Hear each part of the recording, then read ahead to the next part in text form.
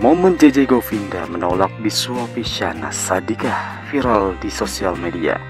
Kejadian itu terungkap dalam video yang diunggah oleh akun Instagram Lambe Nyinyir Official. Dalam video itu, Syahnas dan JJ yang hadir di event lagi-lagi tenis yang digelar Afi Ahmad terlihat berkumpul dengan keluarga. Di tengah asik mengobrol, Shanas yang sedang memegang makanan tiba-tiba menyodorkannya ke JJ untuk menyuapinya. Namun JJ tak mau menyantap makanan tersebut dan menolak makanan yang ada di tangan istrinya itu. Video ini viral dan mengundang beragam komentar netizen. Kasihan sepertinya suaminya kecewa sekali sama istrinya itu.